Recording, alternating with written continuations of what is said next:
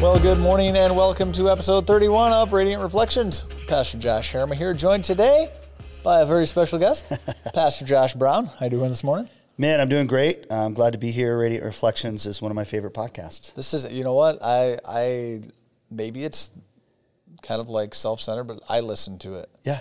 Like I listen. No, I mean I listen to it. Try to think, hey, like, did we communicate what we wanted to communicate? Yeah. With more of that like Yep. assessment kind of lens. But uh, yeah, I, I, I actually enjoy listening Yep. to our own podcast. I don't know if that's self-centered or not, but No, I think it's good. I mean, definitely for quality control, but to burrow in kind of, you know, what was talked about on, on Sundays, it's good. Yeah, it's good. So this past Sunday here at Radiant Life, we kicked off a new series called Reset. Uh, you know, coming off just the chaos that has been COVID 19, uh, Pastor Ryan really felt like uh, we needed to reset some things in our lives, to, to reset some of the aspects of our walk with Christ. So this past Sunday, JB, we talk, and those for those of you that are listening and you're not familiar with the Radiant Life, uh, we refer to Pastor Josh Brown as JB. Uh, I obviously both of us have the name Joshua. And I was second. I came and- a few and I months got after here Josh. first, so so we made him have a nickname. Uh, I have been called JB most of my life by other people too, so it's it's So it weird. works. Yeah, it's fun. It works. But uh, you know, for those of you that don't know, JB is our worship pastor, and the thing that Pastor Ryan talked about this past week to reset is our worship. So first of all, and this is this is actually off script, Okay. JB, but like that title, worship pastor. Yeah. What does that mean? I mean, I mean, I mean, there, Yeah. there, there, there are probably people listening that think, well, that just means that you, you sing, like Right. you, you're a musician, so you're the Right. worship pastor, Right. Like, what is? Unpack just briefly, Sure. what that actually means and what your role is, Mm-hmm. because you're not just a musician, Right. You're not just a worship, like you are a, a pastor, Mm-hmm. you know. Yeah, I mean, I think it varies from church to church on what a worship leader or a worship pastor is. But yeah, uh, for me here at Radiant Life, it is um, organization. You know, we use a we use a um, a piece of software called Planning Center, and it pulls in different musicians at different times. It's prayerfully working with you and Ryan on what songs we're going to introduce to the congregation, why. Um, it's prayerfully talking through structure of services. Why or why would we? Why or why not would we do certain things? Um, but yeah, I, you know, as a pastor, we, we talked about this before. That means shepherd. Um, I think one of one of my most important roles, at least to me, is shepherding the forty plus uh, members of the worship ministry here at Radiant Life. Just talking with them, praying with them, getting to know them. Um, and then uh, just overall, as a pastor at the church, I get to pray and talk with people uh, on not a, even about music necessarily. It can be about anything. So Yep. Yeah, yeah, that's good. Well, and we've we've talked about worship here in some of the earlier episodes of the podcast, but just especially for those that haven't, uh, maybe they're just jumping in now. And episode thirty-one is the first one that they've Right. heard. Right. Uh, what is worship? Right. It's a big question, you know, and it's something I've pondered. Uh, I've been a worship leader and, and pastor for almost 20 years. And it's, it's a question that I ask often. Um, if you look in the scriptures, we know in the New Testament, we get our, our New Testament from the Greek and the Aramaic. And if you go back to the Greek language, uh, the word worship most of the time is the word proskuneo, the Greek word proskuneo, which is where we get our uh, English word prostrate. Um, and it specifically means to fawn over or to crouch or to prostrate oneself in homage to something. Um, so I think, you know, for me, a, a working definition, um, worship is ascribing a greater value mm. to something. And I think that when, when we worship God, that's, that's actually what we're saying. You know, you're greater than everything. And in these moments, I'm admitting that um, it's ascribing worth, worthship. You know, that's there's there's some of that in there as well. So that that's kind of my my working definition. No, that's good. And it actually, so it, you know, when you talk about that, you know, this idea of, of fawning over. Yeah. Uh, it, it actually, like, my brain goes to how easily it is to fall into idolatry. Mm. And you look at some of the things that we, as, as humanity, that we fawn over. Yeah. That we you know, We worship. ascribe great worth to. Yes. Uh, you know, and, and we might not think of that as, oh, I don't, I don't worship this thing. I don't worship this celebrity or this Right. activity. Right. But if we really dig deep, that's exactly what we're doing. and, and, you know, the Radiant Reflections is meant to be an unpacking of the Sunday message. And I felt like Ryan, I mean, he said worship takes place at football games. He said to us, if you if you if you guys go back and you listen, he said, you know how to worship because you do this every time a touchdown is scored or whatever it might be. And um, I I like that kind of preaching.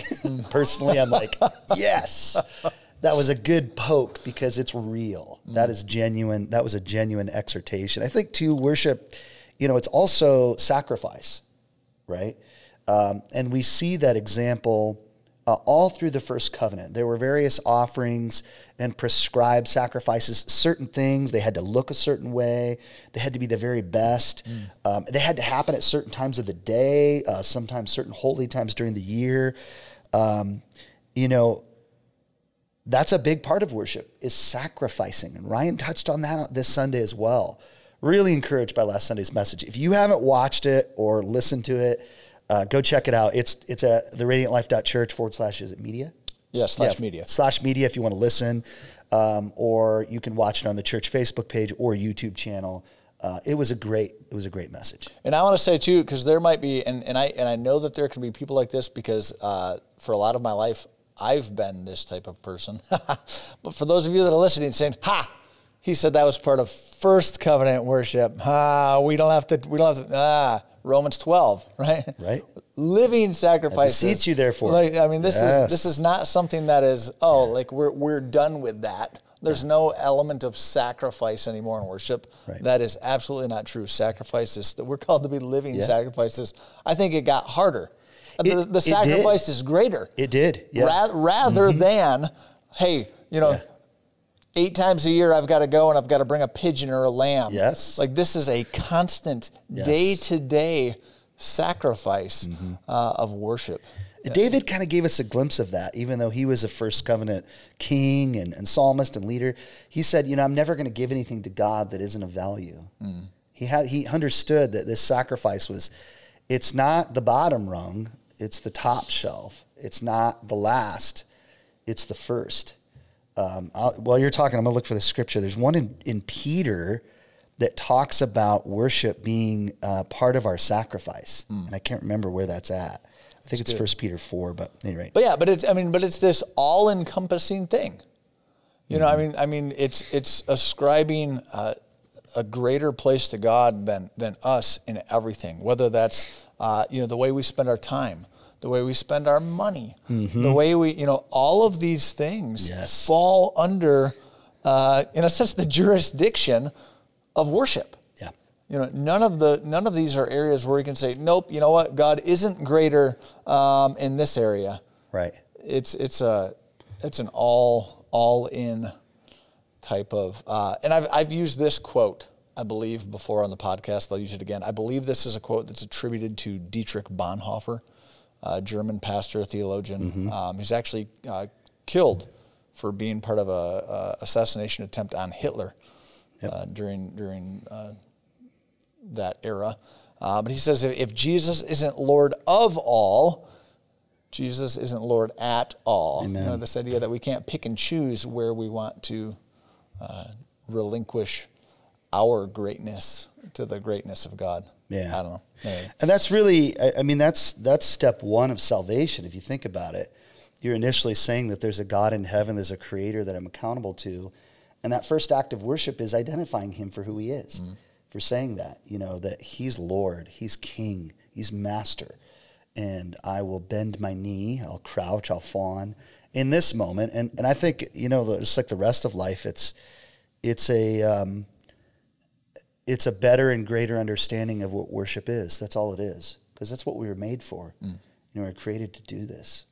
Oh, that's good. So let's talk about music. Yeah. Because, you know, why do you think people so readily associate worship with Yeah. music? You know, you talk, you know, we go have a, a worship night Yeah. and people think, oh, well, we're going to sing. Right. You know, Right. what, what is that? Uh, how is that a right connection? Mm-hmm. And how might worship be more broad than just music? Right. Well, your, my answer might surprise you, being a, a worship arts pastor. Um, I think the reason first that people associate music with worship is because of the emotions connected with music. dig dig into that a little. Yeah. So, um, okay, let's talk teenage angst, right? You probably remember the days. Uh, For me, it was the the early and mid '90s in high school. Some some Nirvana blasting some Okay. Kurt Cobain. Okay. right. Okay. For me, it was Nine Inch Nails. Right. Okay. Right. The Oh, first. The Trent- first. Trent Reznor. Reznor. Really dark individual. Really dark individual. And in the midst of that, you know, changing that happens in, in high school and junior high up to high school, you listen to that kind of music, and there are feelings that happen. There, there's there's emotions, and that happens with music. It doesn't matter if it's good or bad music. Um, so I think the reason that people um, immediately connect music. The church has taught it. The church has has left that impression. I think over the years, we we've disconnected other forms of worship, but I think it has a lot to do with how we feel when we worship. We feel good, and because we feel good when we sing or we hear music that we enjoy, um, we we associate that with that being the only form of worship. So I think that's a bad thing uh, in a sense. It's a good thing also because the scriptures tell us plainly. I mean, it's filled, and Ryan, again, uh, this last Sunday did a great job of unpacking a lot of Psalms that talk specifically about guitars and drums and cymbals and dancing and raising hands and clapping and bowing. Like the Word of God is full of physical examples of music and worship being connected, definitely. But it isn't the only worship, and I think that that's that's what you're hinting at. Right. And for those of you that are like, wait a minute, they didn't have guitars in the Bible. We're talking cultural equivalents. Yeah. Calm down. Yes, yes. They didn't have drums. Yes, they did. Yeah. Oh, They yeah. definitely had, uh, you know, shapes of metal that were cymbals that were pounded flat and made sound. Yeah, there were harps, lutes, lyres. Um, there, there's um, even in some of the psalms. Some people don't know this, but there's this little pretext at the beginning of chapters. Uh, you, you might think that that's something that the translators entered into the psalm to help you understand what it's about. It's actually part of the holy word of God. And some of these psalms will say, to the tune of, and they name the song, or they'll say the instrument that is supposed to be played as you read the song, or it'll say, this is the time of year, a psalm for the Sabbath, a psalm for this day. That is actually part of God's word. So it's, it's basically an instruction uh, on what that psalm is about, even the song that's contained therein. And then, you know, some Psalms, they've got that little little thing that puzzles everybody. Yes. Right? Where it says, Selah. Yes. Selah. That's right. So- That just means pause. That's right. meditate, wait. In, in the in the worship team world, Josh and I we call that a vamp, and not vampires, but we are literally just like uh, chilling and letting the music float for people. No singing. Yeah, like a, like a musical interlude, a meditative type time. of thing. Yeah, I mean, hey, let's we just sang these these lyrics. Uh, let's take a second and digest the Give space that to we just- process. yeah, the things Yeah. that we just said and sang. Yep, Yep. That's good. Yeah. Uh, but I mean, yeah. So you, and Ryan did get on this a little bit in the message. But I mean, so so music is part of worship, but not Yeah. all. Like, what else would you Yeah. want to put out there? Like, oh well, hey, like this is an aspect of worship. This is an aspect of worship. You know. Mm-hmm. Yeah. What are some of those things? You know, there's a couple of things that Jesus talked about more than anything else. One of the number one things that Jesus talked about was hell. That's hard to hard to believe. But uh, one of the number two things that Jesus talked about was money and finances. And it's been said by lead, leaders for centuries. If you want to see what a person worships, look at their checkbook.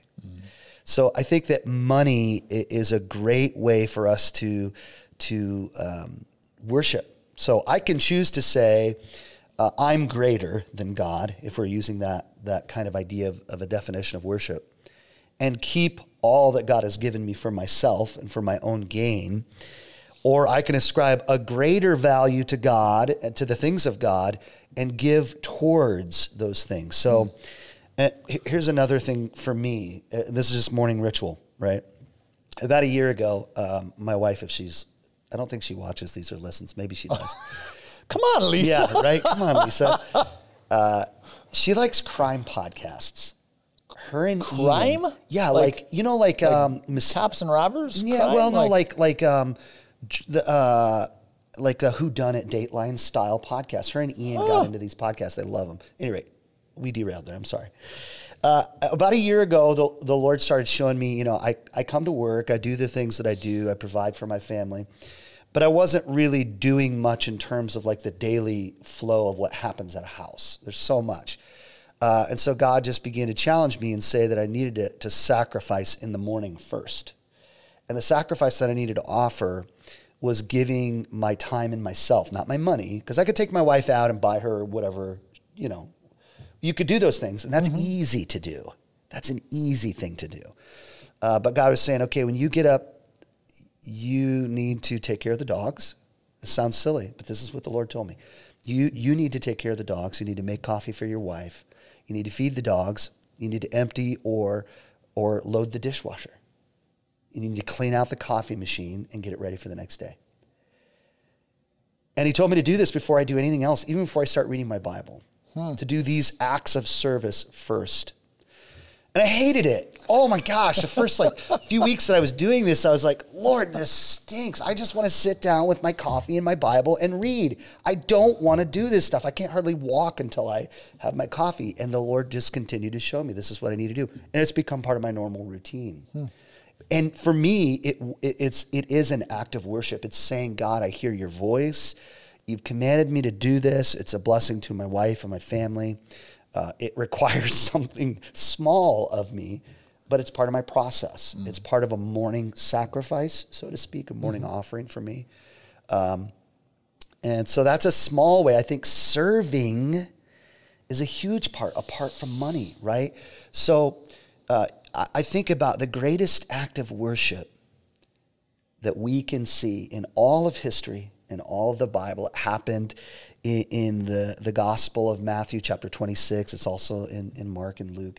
Jesus is in the Garden of Gethsemane and he's facing uh, what he's been telling the disciples for, for years now. I'm going to be go. I'm going to go to Jerusalem. I'm, I'm going to be crucified, and he has this prayer time, this time with God, his Father, and he says, God, if there's any other way uh, for what you want to happen, if there's any other way for this to happen, can you do it that way? But the greatest moment of worship in all of history is these words Nevertheless, not my will, but your will be done, God. So Jesus submitted to the point of even giving of his own life, but that started at a moment of saying, Hey, not my will, but your will. And so that sacrifice, and then of course we know the actual sacrifice took place just days later from the Garden of Gethsemane. But I think serving, you know, does that mean at a soup kitchen in your town? Does it mean like you do, Josh? You play bass guitar, you're talented and skilled in that. You give on Thursdays, you give time away from family throughout the week, you practice. Sunday mornings you come and you serve two weeks. Josh isn't paid to do that. Which I want to actually, I want to pause because I want to. I don't know if people recognize the amount of uh, time and energy that the, the people on our music team and the, the tech team that they pour in every week. They do. so that we can do. You know, we love all of our change makers, uh, but probably like more than most, uh, Yeah. our, our musicians and our tech team devote the most hours per week. Uh, and like JB said, they're not getting paid for it. This is something that they do as a as an active service, and I just want to give a huge shout out to everyone uh, Yeah. on that team. Yeah. yeah, yeah. So I think finances and service are two other ways that we can think about worshiping God. Where do I give? What do I do with my money? And what do I do with my time? You know, how do I give my time and my money to the Lord? Uh, and those are acts of worship apart from music. Yep. Oh, that's good. That's good. So sometimes in, in church world, and you know, and we've we've used this language here at Radiant Life sometimes, right? You'll hear this term posture of worship. Uh, what what does that mean? Talk a little bit about some of the different, and I know Ryan got into this Yeah. with some of the passages that he went through on Sunday. Uh, but let's dig a little bit deeper into this whole idea of postures of worship and, and what those look like and why we might utilize some of those postures. Yeah. Yeah, I and I I do. Again, I want to tell you if you haven't watched or listened to the the message Ryan went through a lot of scriptures that specifically identified postures of worship. And what do we mean by that? We mean uh, it can mean physical positions and outward expressions that communicate what you're doing, which is worship. They can also be postures of the heart, right? Um, but the postures of worship that we see in the scriptures are dancing, right? Uh, we see bowing down or kneeling down, prostrate. That's right in the definition of worship. We see clapping, which is is it, you know giving accolades or applause to something. Uh, we see the raising of hands, mm. right? Uh, which Ryan unpacked really well by saying, you know, it's this act of of rejoicing and submission. It's twofold. It's saying there's nobody greater but you. You're awesome, right? Like we would would at a, at a sporting event, or I am open handed, saying, Father like a, like a small child would look up to their father, arms up, pick me up. There's an act of submission declaring who God is. So, um, yeah, the postures are really important. Mm. They really are. Um, and again, it's that uh, uh, ascribing of a greater value. It's doing something that others might think or seem to be odd. And one of the greatest examples of that we see with David and his wife Michal, right? When David uh, uh came back from battle in the scriptures, it says that he put on a linen ephod. And This is, I don't think it might be in Samuel, I'm not sure. And he danced with all of his might before the Lord. Now, his wife Michal was up in their house and she's looking out the window and she sees David doing this, this posture of worship. David comes in, he's probably, you know, like sweaty and like he just, it was like a nasty. Yeah, like he was getting after it, right? And Michal says, How foolish did the king look today among his servants? Mm. How foolishly he acted. David said, I will act even more. He rebuked her. He, he, he kind of put her in her place and said, I will be even more foolish before the Lord. This is nothing, he's basically saying.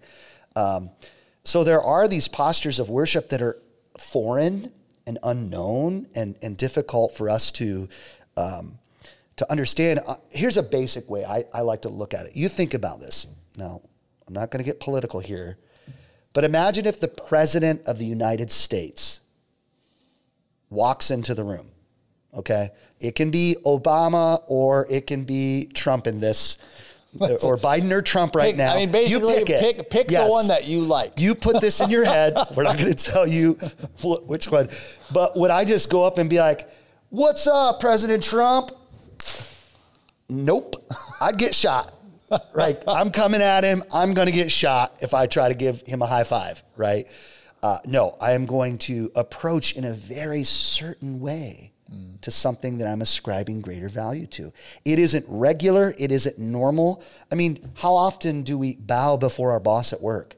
Right. We don't do this. Or do we say, yes, I'll go make those 10 copies that you asked me to make, you know, right? we don't do that. It, it, the postures of worship, they're also a way to communicate the greaterness mm. of the object that we are posturing ourselves before.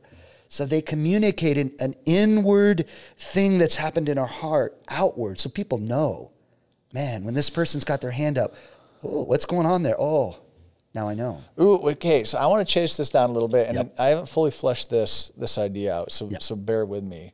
Um, this might be like a chicken or egg type of scenario. Okay. And I'll say, and this was actually one of my next questions. kind of dealt with like the nonverbals. Yeah. Right. The nonverbals of worship. Right. Do we? Does our heart have to be there first?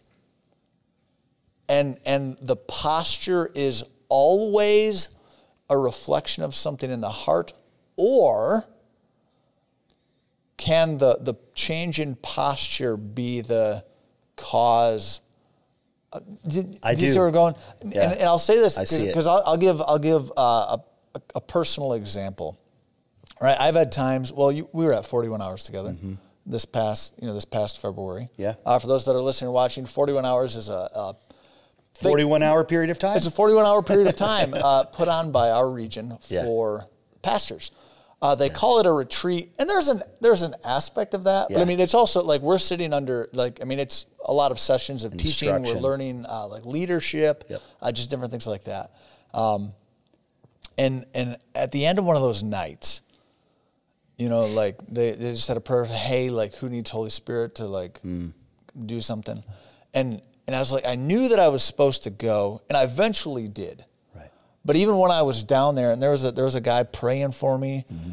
but like I knew, like I was, I wanted to have what Holy Spirit had, but I didn't. Yeah. Like, and I was like, like my nonverbals, my posture, like my my actual physical position, everything was very closed off. Yeah. And it wasn't until I, like, I had this moment of, like you're saying, you want to receive, but how are you going to receive with these closed, clenched fists? You know.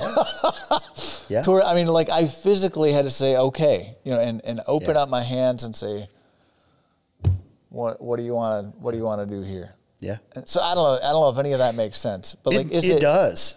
No, it totally does. I, I think Jesus addresses this. I think it's in John chapter 4 with the woman at the well, right? So, this woman at the well uh, is talking about where the Jews worship. They worship over here. And Jesus said something amazing. He says, The Father is searching and seeking those who will worship him in spirit and truth, right? So, there's this balance of the Holy Spirit and this emotional sort of connection to God and the truth of God's word. So chicken and egg kind of thinking, I think it goes both ways, Josh. Hmm. I think it's like there are times when the heart, the Holy Spirit is doing such a work in your heart that the postures are, you know, it just flows out. it just it's organic, right? Then there are other times like where the word of God has been sown into your heart, the truth, we'll say, because we're still talking spirit and truth. The word of God has been sown into your heart, and you're sitting there and you're like just feeling feeling like you're you're glued to the chair. And the Holy Spirit then just brings to your mind a, a, a scripture where, where God says, you know, I raise my hands and, mm. and, and worship. You then actively, consciously choose to obey that revelation in the moment, and then the hands go up. So I, I see spirit and truth worship as a circle mm. with arrows that are like the recycle circle, if you oh, think yeah. about it. Oh, no, I really do think that because it, it, it really depends on, on the circumstance. Mm, that's good. That's good. No no cookie cutter. I like. No, no. I, li- I like that. I like Yeah. that. So, would you say that there are right or proper ways that we can worship? And are there wrong or improper ways Yeah. that we can worship? If so, how do we, I mean, how do we wade through Right. what is right, and what is wrong? Like, how much of, of what is right or wrong is determined by culture, Preference. context, tradition, uh, preference? You know, yeah. How do we navigate Yeah. all of that? I think that's a really tough question, but in short, I would say yes, there are definitely wrong ways to worship. Okay. Um, the Word of God is definitely our guide. If you go back into Leviticus chapter 10, for, uh, for instance, there's these two guys, Nadab and Abihu, Sons of Aaron. s- sons of um, Well, that they- was they're- Samuel, wasn't it? Not in Leviticus, no. But Leviticus, I mean, that's You're right, you're right. That's yeah, the sons of Aaron. The- Yeah, sons of Aaron, Nadab and Abihu, they're Levites. That's right. And they come into uh, the temple to do the prescribed form of worship. And in Leviticus 10, it says that they offered strange or profane fire. And in the original definition, when you look at that strange or profane, it, it, it has an adulterous connotation. Um, so we don't know, no one knows what Nadab and Abihu offered there, but God struck them dead. Okay. When David and some of his uh, um, people were bringing the Ark of the Covenant back from being captured by um, uh, enemies of God, uh, God gave David specific instructions on how to bring that ark back. They tripped as they're walking down this path. They've got the Ark of the Covenant. For those of you who don't know, the ark is where the very holy presence of God was. The tablets of, of Moses were there. Ron's, uh, uh, uh, Aaron's, bu- Aaron's rod that budded. These things were present. jar of manna. Yeah, the jar of manna. There's these these markers, these memorial stones, and they slip as they're walking. And one of the guys that is carrying the ark reaches out to grab and steady the ark of the covenant, and he is struck dead. Okay, Which, as a kid, I remember reading this like, whoa! man, he was just I'm just, just trying, trying to to help. help. we don't know. There's a lot in the Hebrew language we don't know. Okay, so those are first covenant things. Hear us say if you worship in a, a wrong way, God is probably not going to strike you dead. Uh, definitely not going to happen. For, for your sake, we hope Yes. not. For our sake, Yes. we hope not. Yes. But we also know, uh, like in 1 Samuel 13, Saul, King Saul, the, the anointed king of Israel at that time, he goes and, and God is, by the prophet Samuel, is given Saul instruction. You're supposed to do this, this, this, and this. And by the way, it was killing some enemies of God. And Samuel, or uh, Saul decided, now we'll keep some of those things. we'll keep the good things. We'll keep the good stuff. That's right. Oh. And Saul comes and is like, What did you do? Samuel know Saul knows he did something wrong, and Saul, who's not a Levite, he's not a son of Aaron, not a Nadab or an Abihu, he goes into the temple, not of the tribe of Levi, can't do this, and he offers a sacrifice to cover up and make up, and basically it was a works of righteousness kind of thing. And, and Samuel comes back to Saul and says, I know what you did. The bleating of the sheep are in my ear, Saul. God commanded you to kill my enemy, his enemies, and you didn't do it. And then you thought you could just go into the temple and perform this act of worship. The kingdom has been taken to you and given to another. This is when the kingdom of Israel was transferred to David.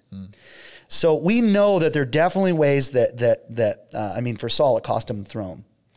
Um, we know that Paul in the New Testament, the New Covenant, the Second Covenant, Paul wrote two letters to a church in Corinth. The Corinthians were known as people who are pretty, uh, pretty, Pretty wild. boisterous, Yeah, right. wild people. Like they, they had a dude who was having sex with his stepmom, and they were cool with it.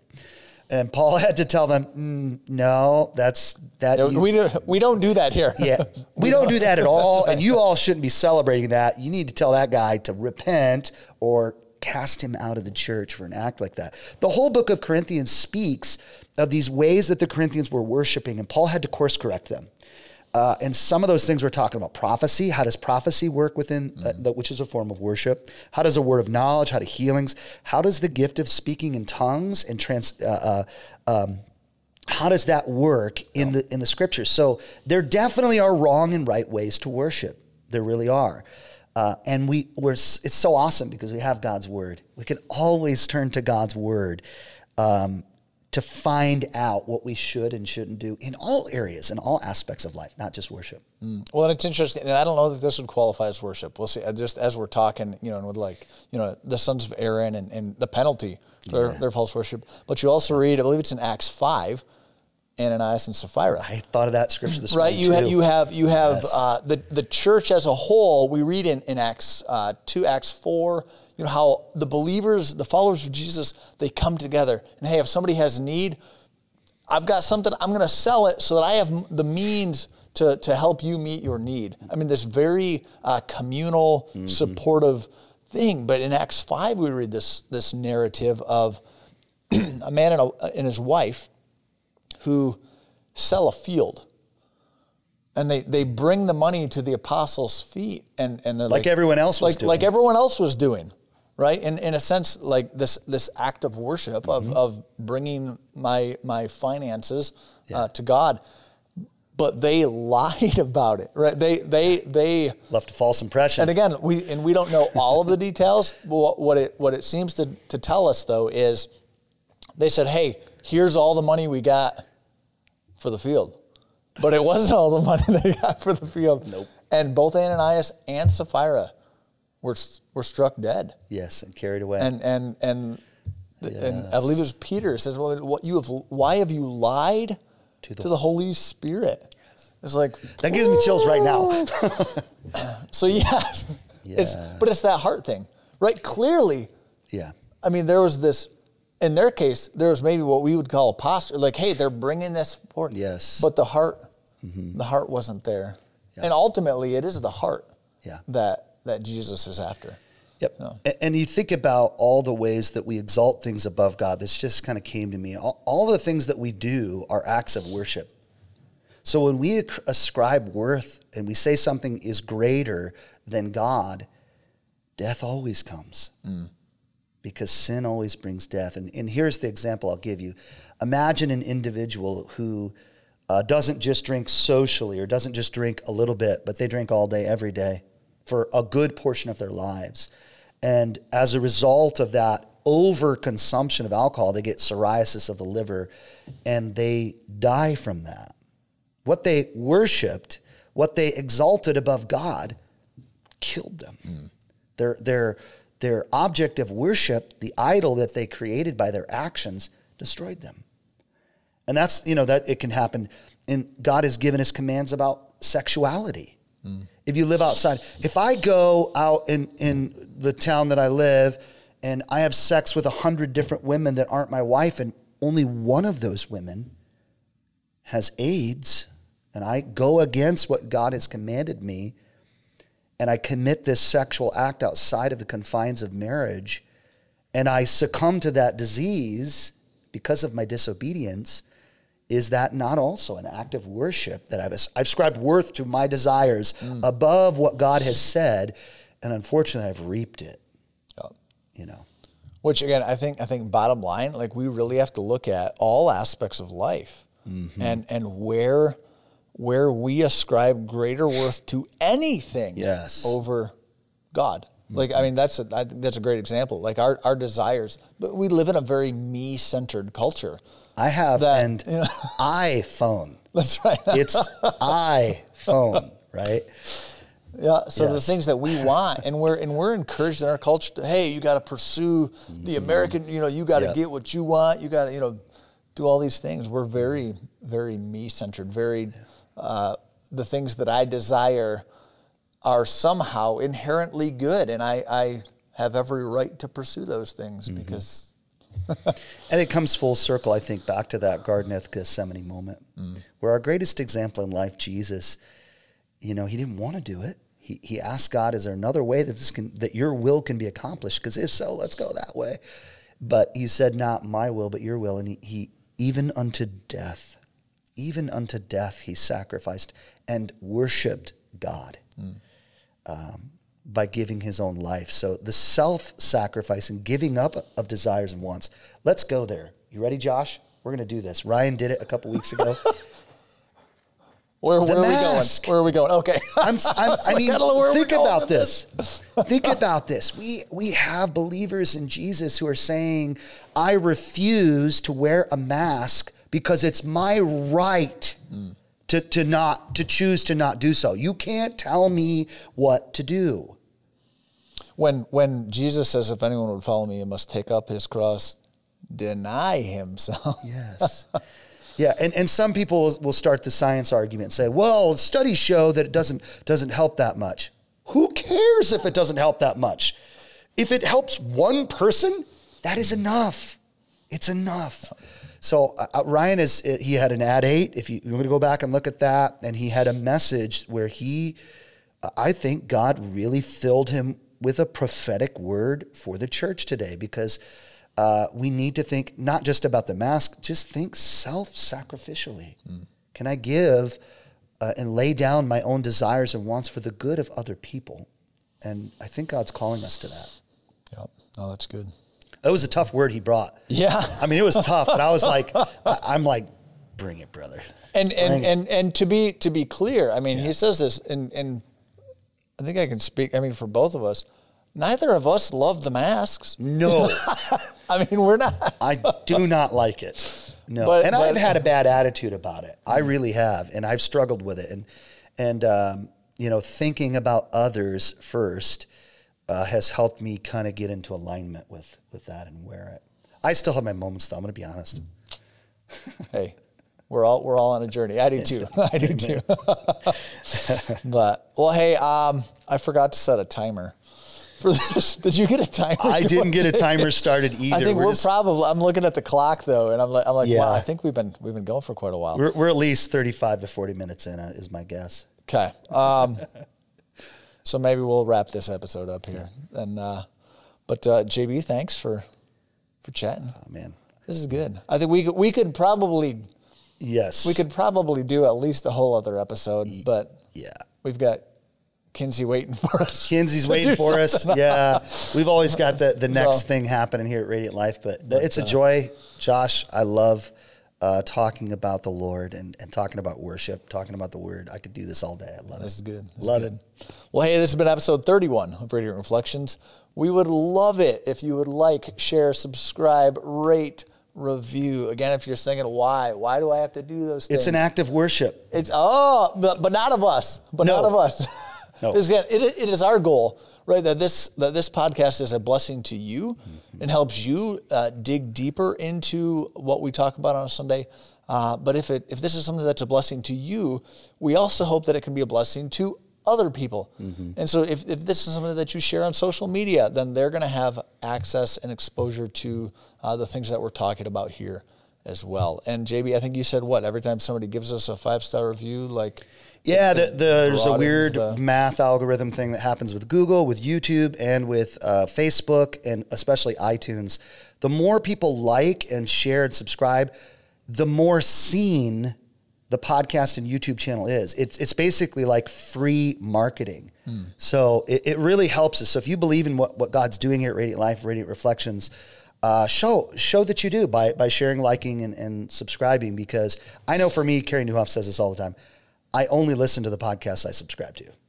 same. Period. Same. If you send me one and I listen to it and it's awesome, I then subscribe and I go back and I listen to all of them. But I only listen to the ones I subscribe to. I generally only watch the YouTube channels that I'm subscribed to. Generally. Yeah. I mean, there'll be random Makes stuff, sense. but I have a list. So subscribe, like, share. I'm with you, Josh. Rock and roll. Well, hey, thanks you guys, and we will see you next time.